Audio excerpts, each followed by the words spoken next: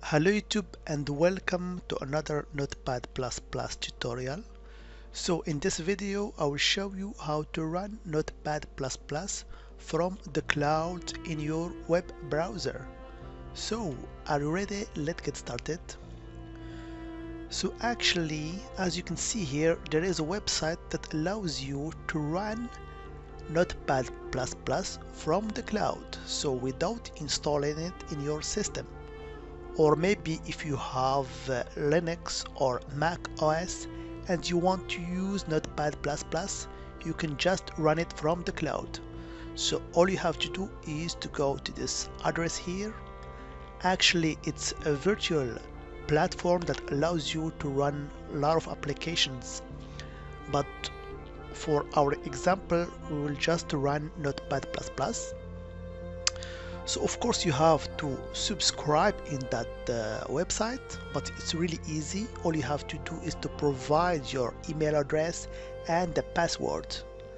And another thing also you have to allow your pop-ups. So here I'm using Chrome so I allowed the pop-ups to show up. So I will go to the main page and I just click launch online so as you can see now notepad++ is starting up and it will launch here as you can see. So now you can work in notepad++ as if it installed in your system.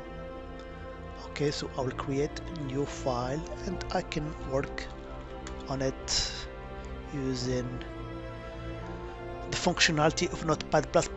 But of course there is some limitations. For example, you cannot save the file in your local computer, but you save it in the cloud.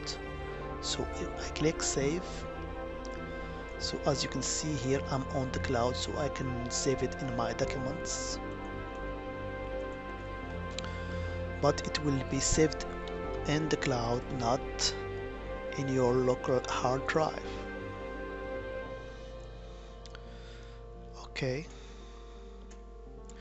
So there is some limitation but it's a starting point if you want to launch this notepad++ program.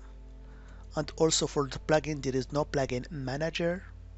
There are just some basic plugins that are already installed. But the settings and uh, they are look the same at the installed version.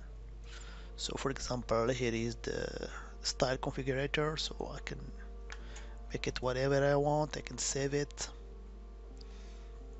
and I can also use the features for search and edit in Notepad++.